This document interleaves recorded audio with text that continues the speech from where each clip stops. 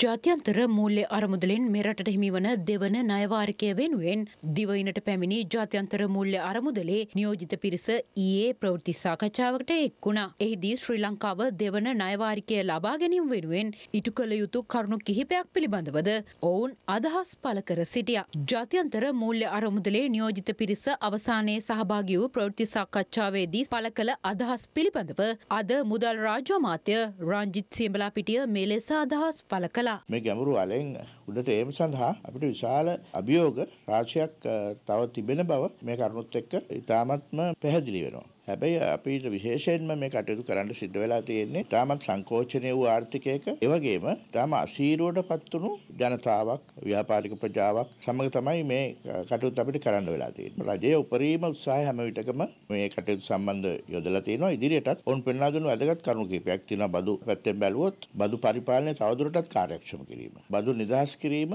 තවදුරටත් අවම කිරීම. බදු පැහැරහැරීම පිළිබඳ නිශ්චිත ක්‍රමවේදයක් පැහැරහැරීම වැළැක්වීම සඳහා ඇති කිරීම. ඉතින් මේවා පිළිබඳ ඉක්මන් ගැඹුරු අවධානයක් යොමු කිරීමට අපි බලාපොරොත්තු වෙනවා. මේ ආරම්භ කළ සාකච්ඡාව කඩිනම් කාර්යමණ්ඩල එකඟතාවයක් සඳහා දිගටම පවත්වාගෙන යනවා. ඒ කාර්යමණ්ඩල එකඟතාවයෙන් පසුව අපිට දෙවන වාරිකය ලැබීමට නියමිතයි. අපි ස්ථිරසාර ආර්ථිකයක් සඳහා යන ගමනට අපි කොටස්කාරය වෙන්න ඕනේ වඩාත් වගකීමෙන් මොකද මේ අපි වැටුණ ගැඹුරු ආගාදයකට. ඒ ආගාදයෙන් ගොඩේ මේදී තියෙන සුවිශේෂ අභියෝග මේ IMF සංවිධානයේ මේ වතාවේ අපිට නැවතත් පෙන්වලා දීලා තියෙනවා. මොකද අපි සමහර අය හිතනවා දැන් හරි කියලා නෑ අපිට තාමත් අභියෝගය තියෙනවා. මේ අභියෝගය අපි ජයගත යුතුයි.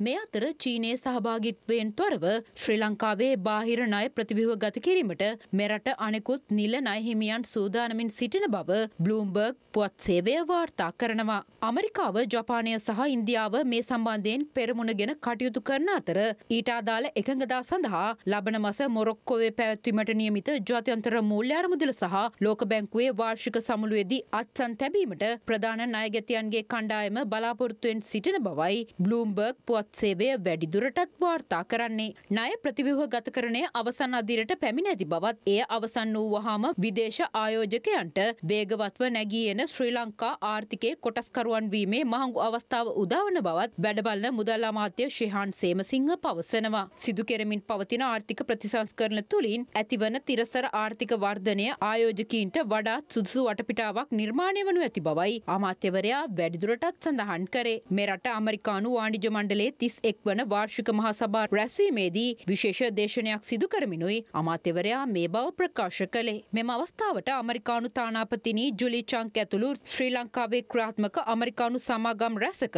ප්‍රධානින්ද එක්ව සිටිය. මේ අතර ශ්‍රී ලංකාවේ තිරසර සංවර්ධනය උදෙසා උපායමාර්ගික සැලැස්ම සකස් කිරීම සඳහා වූ තිරසර ව්‍යාපාර භාවිතයෙන් ප්‍රවර්ධනය කිරීමේ සංසදය පසුගියදා පැවැත්වුණ. ආර්ථික අර්බුදය හමුවේ වඩාත් පීඩාවට පත්ව ඇති ශුද්‍ර සුළු සහ මධ්‍ය මධ්‍ය පරිමාණ ව්‍යවසායකින් නගා සිටුවීම සඳහා ණය ඇපකර ලබාදීමට වසරේ ඉදිරි මාස කිහිපය තුළ ආරම්භ කරන බව මෙම සංසදයට එක් වූ වැඩබලන මුදල් අමාත්‍ය ශේහාන් සේමසිංහ ප්‍රකාශ කර තිබෙනවා. දේශීය ණය ප්‍රශස්ත කරන ක්‍රියාවලියේ බහුතරයක් කටයුතු අවසන් කර ඇතැයි ප්‍රකාශ කළ අමාත්‍යවරයා ජාත්‍යන්තර මූල්‍ය අරමුදලේ පළමු සමාලෝචනයට සාර්ථකව මූුණ දෙමින් සිටින අතර විස්තීරණ ණය මුදලේ දෙවන වාරිකය පිළිබඳ සුභවාදී අපේක්ෂාවකින් පසුවන බවයි අමාත්‍යවරයා මෙහි එහිදී වැඩිදුරටත් සඳහන් කළේ. රටේ ලෝකෙ සිදුවන උණුසුම් පුව දැනගන්න සියත නිවස් YouTube චැනල් එක අදම සබස්ක්‍රයිබ් කරන්න.